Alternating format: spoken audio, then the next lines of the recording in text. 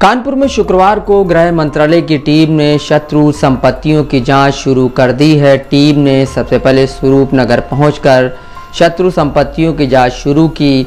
यहाँ गेस्टोलीवर हॉस्पिटल से लेकर कनकॉर्ड अपार्टमेंट तक टीम ने ज़मीन की नाप की। टीम के साथ मौजूद एसीएम रामानुज ने बताया कि गृह मंत्रालय में तैनात संयुक्त सचिव शत्रु संपत्ति की जाँच के लिए कानपुर पहुँचे हैं। स्वरूप नगर गोकुल अपार्टमेंट, बाबा बिरयानी, राम जानकी मंदिर, जाजमो में मौजूद पायनियर टेनरीज की भी टीम जाँच करेगी। नक्शे के ज़रिए से टीम ने जगह चिन्हित की है।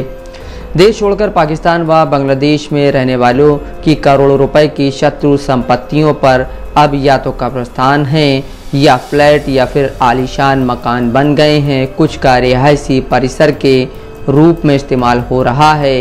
इन संपत्तियों को लेकर भारत सरकार बहुत ही ज़्यादा संजीदा है। पिछले दिनों शिकायत के बाद आबिद रहमान व आमना खातून की संपत्तियों की जाँच करने गृह मंत्रालय की टीम शहर आई थी।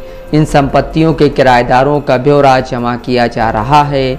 आने वाले वक्त में कुछ की नीलामी भी मुमकिन है। ज़िले में अब तक 12 संपत्तियों को शत्रु संपत्ति घोषित करने के साथ पाक नागरिक शाहिद हलीम की तेरह संपत्तियों पर भी कार्रवाई चल रही है।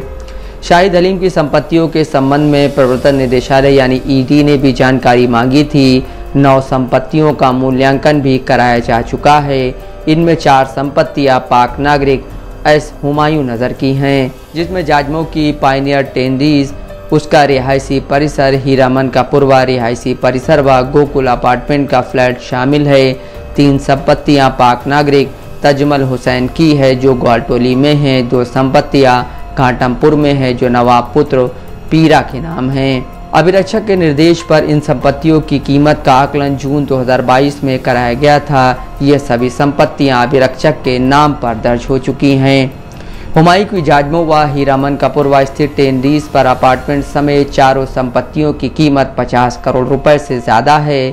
इसी तरह पाक नागरिक तजमल हुसैन की ग्वालटोली स्थित तीनों संपत्तियों की कीमत करीब साढ़े छः करोड़ रुपया की गई है।